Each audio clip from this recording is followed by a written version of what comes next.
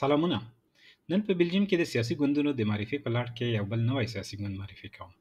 هیله ده دا معرفي در سره مرسته وکړي ترڅو د بلجیم د سیاست او حکومت په اړه درته لا ډیر معلومات حاصل شي او دا معلومات درته په زړه پورې وي عیسوي دیموکراتیک او ولام سیاسي ګوند د فلاندر دریم لوی منځلاری یخې اړخې ځواکمن ګوند سیډین وی دی چې له تاریخي اړخه د بلجیم تر ټولو پخوانی سیاسي مذهبي ملي او دیموکراتیک ګوند دی چې ریښه او پیل یې ان نولسمې پیړۍ ته رسیږي چې له ګڼو ریفورمونو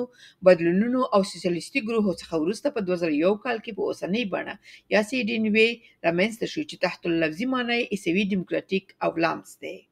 د 2004 او 2009 کال په ټاکنو کې بریالی و او تر 2014 کال پورې د فلاندر په کچه تر ټولو لوی او ځواکمن ګوند و خو له 2014 کال څخه وروسته یې لومړی خپل متحدین لکه اوپن ویل ډیر له لاسه ورکړل چې بیا 2014 کال په ټاکنو کې ملتپالو ګوندونو لکه ان وی آ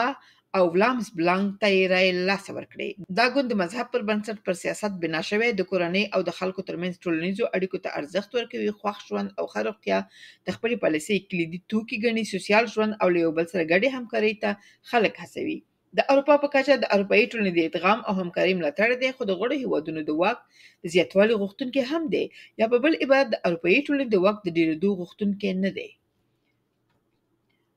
دوی له پخوا له کارګرو او سوداګرو سره ښې اړیکې پالي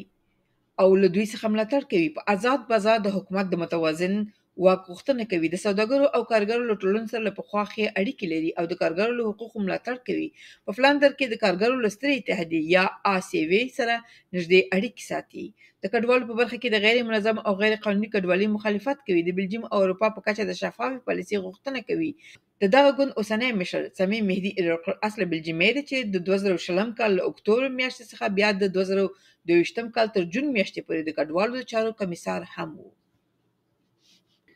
که چیرې مو دا ډول معلومات خوښ شوي وي، هیله ده چې دا معلومات مو له نورو ملګرو سره هم شریک کړئ او د نورو معلوماتو لپاره افغان ټیپس وڅارئ.